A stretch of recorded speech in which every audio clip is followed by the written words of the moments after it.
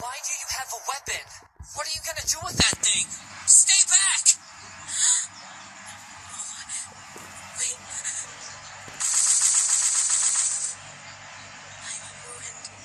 Wait. I ruined everything.